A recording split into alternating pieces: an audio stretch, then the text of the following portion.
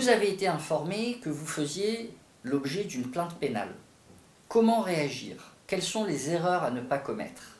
Tout d'abord, vous devez éviter d'entrer en contact avec le ou la plaignante. Tous les contacts que vous ou vos proches tenterez d'avoir avec le plaignant pourront être interprétés comme des tentatives de pression, comme des tentatives de subornation de victimes. Et cela pourra conduire, dans la suite de la procédure, à votre placement en détention provisoire en attendant d'être jugé.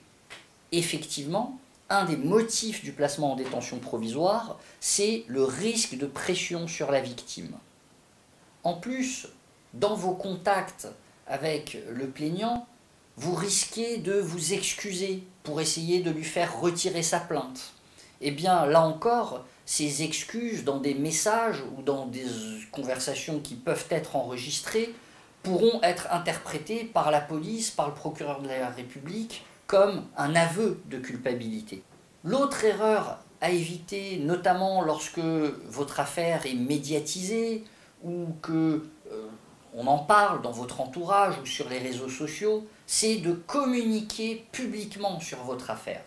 Parce qu'à ce moment-là, euh, vous allez livrer un récit, vous allez euh, dévoiler votre thèse et vous risquez euh, d'être mis en défaut par la suite par des preuves contraires que va apporter le plaignant euh, ou des témoins. De la même manière, lorsque vous allez être informé de la plainte, vous allez naturellement, et ça se comprend, en parler à des proches, à votre entourage. Sachez que ces proches, ces confidents, pourront ensuite être interrogés comme témoins par la police et répéter ce que vous leur avez dit à chaud sur le moment. Si par exemple vous leur avez dit j'étais en état d'ivresse, je ne me souviens pas de ce que j'ai fait, peut-être que je l'ai fait, peut-être que je ne l'ai pas fait, eh bien ça, ils pourront le répéter à la police. La dernière erreur à éviter, c'est de vous défendre seul, de ne pas prendre le conseil d'un avocat. Souvent, les innocents se défendent mal. Ils pensent que parce qu'ils sont innocents, ils n'ont pas besoin de prendre un avocat, ce serait un aveu de culpabilité de prendre un avocat. Ils pensent qu'il leur suffit de dire la vérité pour que cette vérité éclate et qu'ils soient innocentés. Malheureusement, c'est comme ça que se produisent des erreurs judiciaires.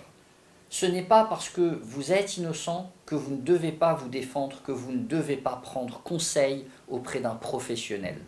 On a coutume de dire dans la profession d'avocat qu'on est mauvais avocat pour soi-même on se défend mal soi-même parce qu'on n'a pas le recul, on n'a pas la distance. Donc, si vous êtes accusé, désignez un avocat le plus vite possible pour commencer à préparer votre défense au plus tôt.